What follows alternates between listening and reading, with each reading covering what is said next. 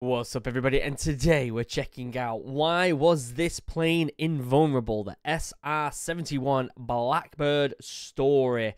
I have no idea I have no information on this aircraft I have no no idea what it is or what it's about or what it does. Uh, so this will be an interesting one. I've been sent this one a couple times actually. Um, so we will see what it's all about. It's a relatively older video being 5 years old. But it's a relatively popular video, coming in at 11 million views, and people have said that it's a really good video. So we should check it out. We should have some fun. As always, if you don't want to hear me waffling over the video, the uh, link to the original video in the description. As always, I don't have to keep repeating it, but I'm going to anyway. Check out the original video if you don't want me waffling. Um, don't forget to like, comment, subscribe. My YouTube analytics says that over 90% of people who watch these videos are not subscribed. So if you could subscribe, that would help a lot with that mysterious YouTube algorithm that we know nothing about. Uh, other than that, this is by mustard. I haven't said that. Other than that, let's shut up. Let's pull this up. Let's have a cheeky peek. Holy, that just nearly blew my eardrums. Turn that down a little bit. Sorry, guys. Thanks to Squarespace for making this video possible. Jesus, and for helping wept. launch my new mustard store. More on that after this video. I wonder what types of mustard he sells. In the midst of the Cold War, two MiG-25s raced to intercept the threat along yeah. the Soviet border. They're I the feel like the MiG interceptors ever built. And if the MiG-25 was so much, uh, you know, had so many worries behind it from the West, it really didn't turn out to be that much, did it? Really? Obviously, it's still a good craft, but it was just more about pure power and speed they really push their engines, they can reach an incredible Mach 3.2. But it's not enough because what they're chasing can outrun and outclimb any threat. Ooh. A plane engineered to be invulnerable. Looks like a spaceship. Looks like it's from Star Wars. Do you know what it looks like? What's the um? People are gonna think I'm a right geek here. The the craft that Obi Wan and um, Qui Gon Jinn use that goes to Naboo, and they have to get a new part for it, and where they find Luke, uh, where they find Anakin Skywalker. That silver aircraft. I'm pretty sure it's part of um, uh, what's she called? The Queen Amidala, Natalie Portman. It's part of her fleet or something. It's like silver. It looks just like that. I gotta Google this. I gotta Google this. Uh, Silver Ship, Star Wars, Naboo. This will come up with it. No, that's not the one. Fuck. Not gonna find it, am I? Uh, Silver Ship, Star Wars, Episode 1. Come on, give me an image. Give me an image. No, not that one. God damn it! I gotta find this. That's it.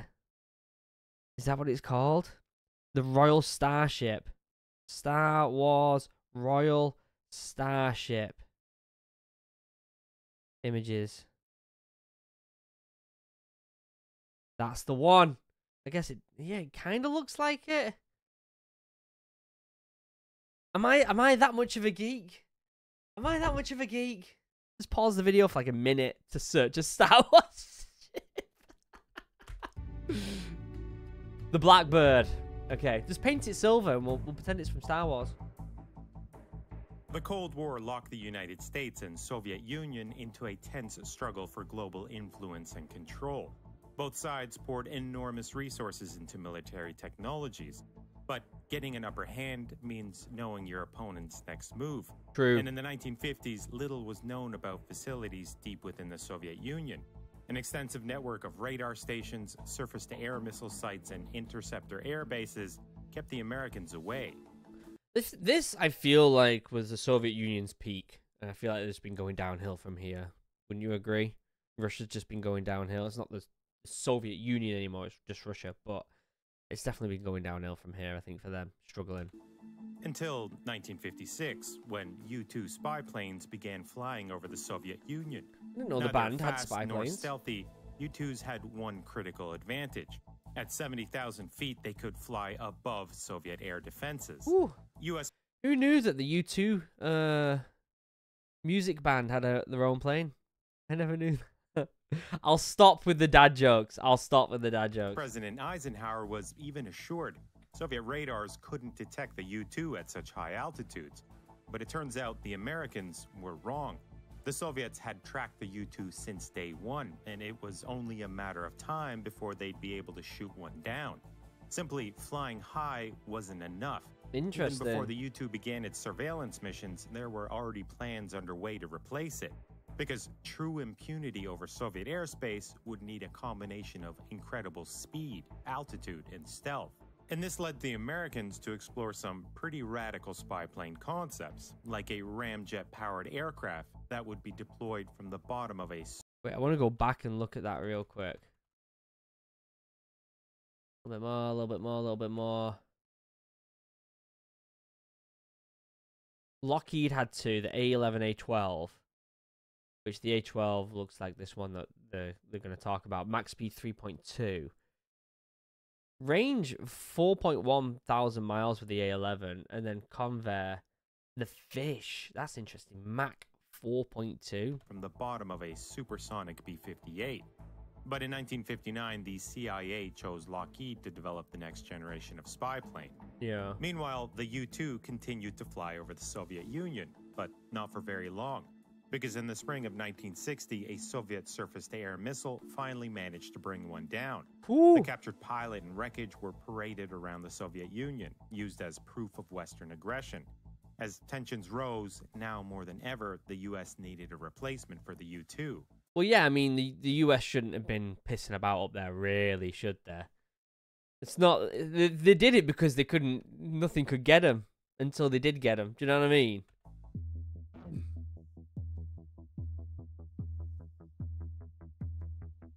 And what Lockheed developed would be unlike any aircraft ever built. It's a plane spaceship. that nearly 60 years after its first flight remains the fastest air breathing jet to ever fly. Lockheed's highly classified spy plane would be known as the A 12. Originally used by the CIA for reconnaissance, the A 12 was also developed into an interceptor prototype, armed with air to air missiles, along with a variant that could launch an unmanned reconnaissance drone. But it was the SR 71 Blackbird, a variant developed for the Air Force that would go on to serve for decades.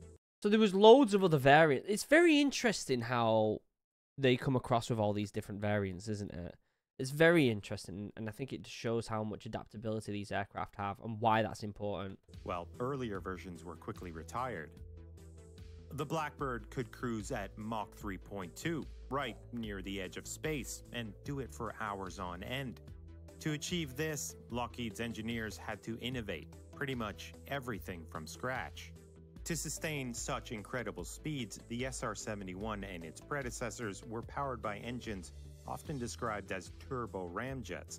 Below Mach 2, they functioned like conventional afterburning jet engines. But above that, they behaved more like ramjets, as an inlet cone adjusted to bypass air around the engine and directly into the afterburner. At Mach 3.2, the SR 71's exterior would heat up to beyond 500 degrees Fahrenheit, easily hot enough to soften aircraft aluminum. Holy cow. Lockheed engineers used titanium for 92% of the aircraft. No wonder this this must have been incredibly expensive. How much did they say it was? Did they say how much it was at the very start? I don't know if I remember if they said how much it cost this plane. It must have been a lot. And in the 1960s, this required inventing entirely new fabrication technologies. Its unusual shape did more than just spook UFO enthusiasts. it helped reduce its radar signature, as did its special black paint, which earned the SR 71 its Blackbird name. okay. Does it The told us the A-12 cost of it? SR-71 were first deployed over North Korea and Vietnam, where they were unsuccessfully targeted by over 800 surface-to-air missiles. Oh my god. But the spy plane never flew into Soviet airspace, at least not officially, because another shoot down over the Soviet Union would be catastrophic. yeah. So instead, the SR 71 flew along its borders, using its powerful side looking radars and cameras to peer hundreds of miles into Soviet territory. Okay, so they weren't gonna just. I mean, it makes sense not to risk it again. The worst thing that could happen is for the enemies to be able to get a hold of this aircraft, right, and and re- de-engineer it and figure out what's going on. Just kind of like what happened with the MiG twenty five, the Russian one, when a Russian pilot kind of just escaped Russia and gave away the whole secret, which is crazy, isn't it? And that frustrated the Soviets. In 1976, Viktor Belenko defected to the West by Yeah. escaping the Soviet Union in go. his MiG 25. There you go. He described the frustration of trying to intercept blackbirds. The MiGs were Mach 3 capable, but only for a few minutes at a time, not for hours like the Blackbird. Nor could they climb to reach the SR 71's incredible altitude. Mm. Even their enormous R 40 missiles lack the guidance needed to strike the SR 71 head on. For years, the Blackbirds were practically invulnerable. Yeah. They could outfly and outclimb any threat. It's crazy that this was so long ago as well, and some of the stuff we have now. Most of the stuff for reconnaissance are satellites and stuff, aren't there? But by the 1980s, MiG 31s were roaming the skies. Equipped with sophisticated radar and long range R 33 missiles, they posed a legitimate threat. I do want to say there is obviously a massive place for drones and aircraft for reconnaissance. I'm not saying that everything's done by um, satellites because that would be totally wrong. But satellites play a big role these days, especially if you want to look at something without being touched. You have got certain things that can do that as well. Um, but if you're going to look deep into Russia, you're not going to send aircraft or drones across there. You're going to use satellites. as did a new generation of Soviet surface to air missiles. But the greatest threat to the Blackbird wasn't an enemy missile or jet, it was itself. No Blackbird was ever lost on a mission, but more than a third of the 50 built were destroyed in accidents. One literally disintegrated around its pilots. They were Oh also God. enormously expensive to operate, each one siphoning about $300 million a year out of America's defense budget. A fleet of special aerial refuelers and a small army of support and maintenance staff were needed just to keep these planes mission ready. And advances in spy satellites, aerial drones, and the SR 71's inability to deliver surveillance data in real time diminished some of the plane's utility. Yeah. Add to that politics and infighting for defense budgets, and by the late 1980s, the SR 71's days were numbered. They were officially retired in 1998, with two sent to NASA for testing. Wow. So the 1998 they retired. So the, not a not a massive you know time in the service considering you know aircraft that we see today that are still in from a long time ago as well. Very interesting. The technology behind the A 12 and SR 71 is now well over 50 years old. Woo! Yet somehow these incredible planes still speak to us. Not about the past, but the future, leaving us with a sense of wonder, unlike any other in aviation history. A few months ago, I launched my mustard site with Squarespace. It was fun, easy, and I did it literally in a few hours. But now it's time to take it to the next. Okay, so it's just mustard. an ad for his merch selling mustard. Um, great video. I'll leave a link in the description if anyone wants to go and watch the video.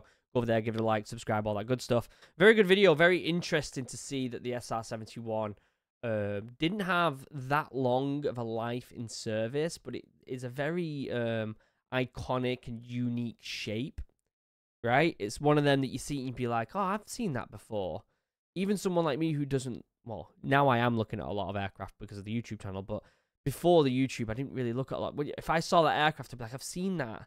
And not just from the Star Wars references, but I've seen that before somewhere. Um, very, very interesting. Let me know what you think in the comment section down below. Don't forget to like, subscribe, comment. Helps with that mysterious YouTube algorithm. I would really appreciate that. Other than that, I love you all. Have a wonderful day. Goodbye.